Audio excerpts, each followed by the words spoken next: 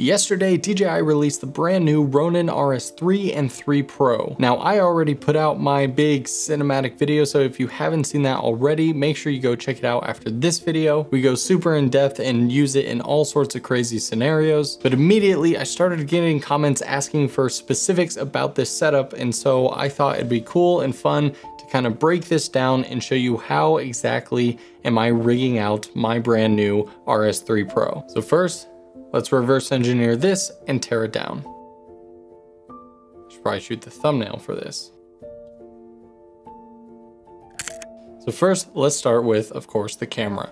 I am shooting on the Blackmagic Pocket 6K Pro. I keep it cageless because it fits better on gimbals, it's more nimble and versatile. Pros and cons to it, but for my use case, keeping it pretty naked. The only thing I have on top is a Condor Blue quick release, which we'll get to in a second. And instead of using the USB-C cables and SSDs, Angelbird is an awesome partner of the channel and they always hook me up with some of their latest CFast memory. So right now we're shooting on the one terabyte CFast 2.0 from Angelbird. Of course, all this stuff will be linked down in the description if you wanna check it all out for yourself. Have the viewfinder built on top, and I'm so stoked that this gimbal and everything can still utilize the battery grip since there's two more batteries in here in addition to the one.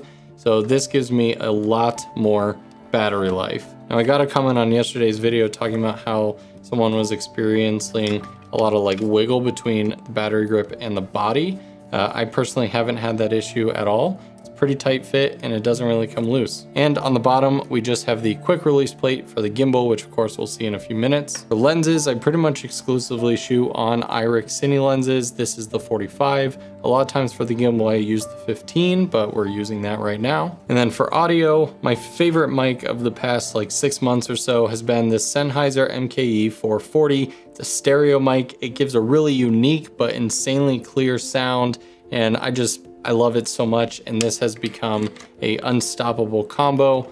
Again, I'm using that Condor Blue quick release, which I'm absolutely in love with. Plugged in right there, and now we got our camera set up. So now the gimbal. Of course, start with the basic tripod, and we have the battery grip. I saw for the RS3, they're gonna be selling these individually. I hope they also sell these individually for the RS3 Pro um, because that'd be really nice since this setup with the LiDAR and the max capacity camera uh, chews through batteries pretty quickly. So if I could have two or three of these, that'd be really nice. I also said in my review yesterday, but I'm a little sad that it's quarter 20. Bigger size of 5 eighths or whatever just gives me much better peace of mind. And a lot of pro gimbals have that larger uh, screw on the bottom. And then of course we have the gimbal head. This is the RS3 Pro again connects Titans. Oh, and I forgot to put on one of the biggest things that people asked about. So in yesterday's video, a lot of people were asking what battery I mounted on the side here. This is the Zhiyun trans mount system. Uh, it actually came with my Crane 3S gimbal years ago. And ever since, this has become my top five favorite like camera gear accessories. It's almost like a super mini V-mount battery.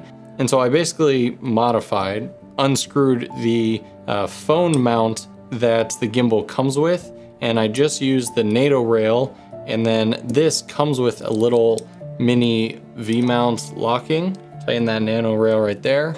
And now we have a mini V-lock battery. And this has a USB-C in and out, so you charge it with it as well as I can run a cable out, which is how I charge the gimbal while using it. And on the back, it also has a USB type A, two D-tap ports. So this I run to actually power the camera if I need to as well. So this one battery can power both the gimbal and the camera adding a good extra two-ish hours. But wait, there's more. What's powering this is essentially six of those 1856 whatever milliamp batteries that gimbals run off of. So I actually have an extra set of six of these that I keep charged up. And so even if I run through this and I don't have time to charge up this whole system, I could pop those out, pop six more in, and now we again have a fully loaded uh, V-mount battery. Now on the bottom here, I keep the new RavenEye transmission system, and I leave it there for a couple reasons. One, this is a very top heavy setup, and so just having a little bit of weight down here, I think just helps kind of counteract it, but it's also good just to have a transmission system nearby. I don't connect the cable all the time just to keep less cables because I don't use it often, but it's nice and quick to just attach the cable to the camera and this, and then I can have wireless focus pulling or just monitoring or whatever uh, of the app tools that I want. Now the gimbal actually comes with a couple different base plates. I'm using the one with a quick release, not only because it's more convenient, but actually for any Pocket 6K Pro, possibly 6K owners, you'll need this because unfortunately this axis doesn't slide in and out like a lot of gimbals, it is fixed. And if you use the regular plate, then the very wide camera body is not going to fit on here. And so you have to use this quick release because when I slide it on, you'll see that it's ever so slightly off to the side. And so I just push it as far right over as I possibly can. And that sits nice there. Now with the LiDAR system, again, most of the time you see it mounted on top and I had that at first, but it was you know, I wanted to run my microphone as well, and there was a lot of dead space underneath the gimbal here, and so I thought of, it was kind of a genius framing idea um, to put it on a Condor Blue hot shoe that I basically just screwed into the front of the base plate. And so now this just sits perfectly right there.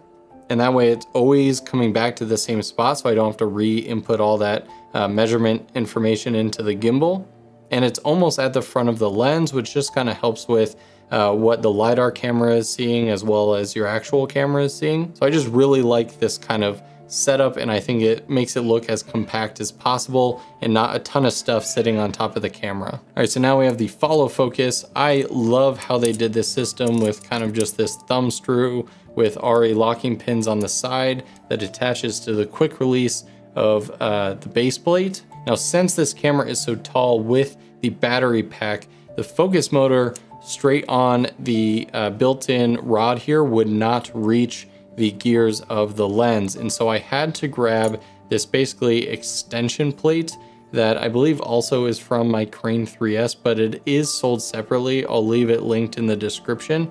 And this basically added extra height. If you don't have the battery grip for the 6K Pro, you will not need this. You can just put the focus motor straight on this bar. Uh, but if you have the battery grip or maybe like a Canon 1DX Mark III or, or you know one really tall DSLRs, you may need something like this. And so this just slides back and thumb screws onto the quick release plate. Now, thankfully, the thumb screw does have little notches in it as well. And if you don't want any sort of wiggling going on with your focus motor, it's always good to tighten it down with something a little stronger than, uh, than your hands. Now we just have to connect the cables from the LiDAR and the focus uh, motor. It's very important that the LiDAR goes in the bottom uh, USB-C port on the gimbal or else it will not work. It goes in here, kind of just cable manage it as neatly as one can. And last but not least, one thing that will help with micro jitters uh, is using a lens support. Both of these came with this setup and I don't think they were intended to be used this way, but since we have the LiDAR right below it, I can't use the lens support system in a regular way. Again, just using whatever this piece is with the lens support and one of the screws that it all came in the Pro kit. I can kind of have it off center here, lift the lens ever so slightly, tighten it down, and you have a really solid lens support system. And again, if I want to power this, I would just run a USB-C cable to power this, D-tap to power the camera if I want to. That is my DJI RS3 Pro camera setup. I absolutely love this thing. Shot weddings, went on a boat, did a whole bunch of stuff. Again, you should check out the other video. And again, all this stuff will be down in the description below if you want to build out your own kit. Thanks so much for watching, everybody. See you in the next video.